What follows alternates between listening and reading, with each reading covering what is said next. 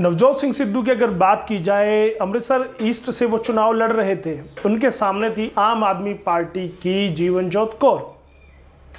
सामाजिक कार्यकर्ता वो रही हैं। पैड वुमेन के नाम से उनको पंजाब में पूरे विश्व में जाना जाता है।